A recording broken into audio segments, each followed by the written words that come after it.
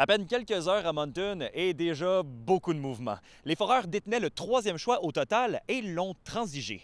Les Foreurs avaient ultimement réussi à mettre la main sur l'un des défenseurs les plus convoités du circuit en le nom de Pierre-Olivier Roy des Tigres de Victoriaville. Mais coup de théâtre, Rimouski se précipite au téléphone, appelle Maxime Desruisseaux, le DG de Val d'Or, et lui fait une offre qu'il ne pouvait tout simplement pas refuser. Il y a des gens ce matin qui, trouvaient que peut-être j'avais payé cher un petit peu au POF. Finalement, quand ils ont vu le retour, ils se sont aperçus que euh, pour, pour quelqu'un qui n'a même pas endossé l'uniforme, euh, il nous a rapporté beaucoup. Donc, aujourd'hui, une extraordinaire transaction qui, euh, qui nous fait avancer beaucoup pour les forts. Un de mes objectifs quand j'ai été nommé directeur gérant, c'était de, retrouver l'équilibre au niveau des choix repêchage. C'était un des, des buts. Puis pour la première fois depuis que, que je suis un foreur, je vais dire ça comme ça, maintenant, on, peut, on peut dire que c'est mission accomplie ce côté-là.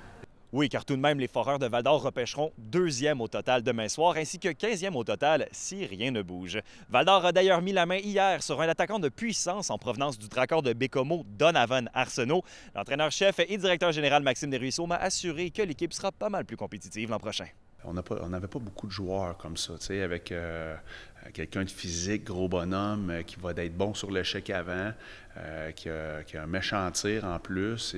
Et du côté des Huskies, ben, on avait déjà annoncé devoir se départir de plusieurs joueurs de 19 et 20 ans, et c'est chose faite Mathis Perron et Émeric Gaudet plient bagage pour les Olympiques de Gatineau en retour de choix de troisième et de cinquième ronde. Le défenseur François James Buteau plie bagage, lui, pour le titan de l'Acadie Bathurst en retour d'un choix de première ronde en 2026. Et c'est silence radio pour ce qui est d'Antonin Véro, le meilleur pointeur de la saison dernière dans la LHJMQ, qui pourrait très bien débuter la saison à Rouyn-Noranda, selon son directeur général. Quand on décide d'une année de, foncer, ben il y a des compensations qu'on doit, qu'on doit payer.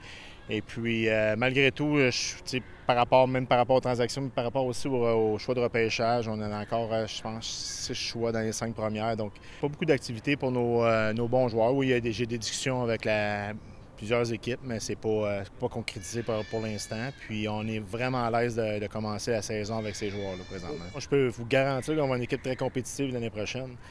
La rivalité de la 117 de l'an prochain risque donc d'être excitante, avec des Huskies qui vont tenter de se maintenir au sommet et des Foreurs qui vont s'en rapprocher dangereusement. Je vous retrouve demain 19h pour le repêchage 2024 de la LHJMQ. C'était Alexandre Cabana RNC Nouvelles, à Moncton, au Nouveau-Brunswick.